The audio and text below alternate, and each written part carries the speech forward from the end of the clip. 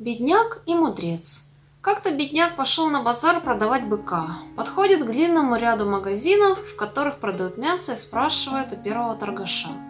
«Купи быка, мне очень нужны деньги». «О каком быке ты говоришь? У тебя же коза».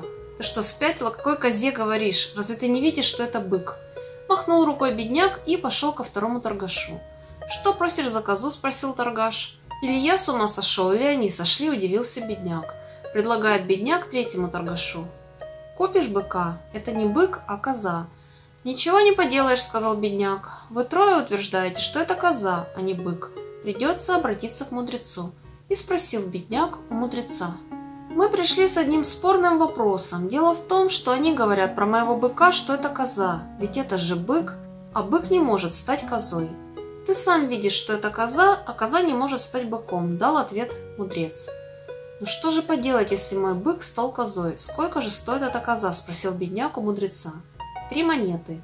Бедняк продал торгашу за три монеты своего быка и попросил «дай мне хвост этой козы». Взял он три монеты, бычий хвост и отправился домой.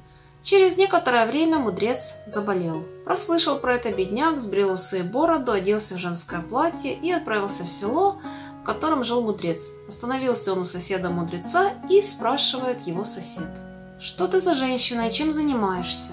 «Я занимаюсь врачеванием». «Она может вылечить мудреца», – подумал сосед и отвел переодетого бедняка к мудрецу. Осмотрел бедняк мудреца и говорит, «Я вылечу тебя. Три дня и три ночи буду лечить, но мое лекарство сильное. Если в эти три дня и три ночи ты вскрикнешь, будешь шуметь или кто-нибудь к нам войдет, мои лекарства тебе не помогут». «Хорошо, я согласен», – сказал мудрец, измученный болезнью. Ночью вошел бедняк к мудрецу и стал ласково говорить ему. «Как ты себя чувствуешь? Что у тебя болит?» «Злой недуг вселился в меня, боли меня мучают», – жаловался мудрец.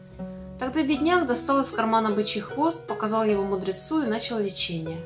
Хлыстнет его поперек спины бычьим хвостом и спрашивает, «Разве это козлиный хвост? Разве это козлиный хвост?» Хлыстнет его поперек спины и спрашивает, «Разве это не бычий хвост? Разве это не бычий хвост?» Три дня и три ночи проводил бедняк лечение, а затем отправился во свояси.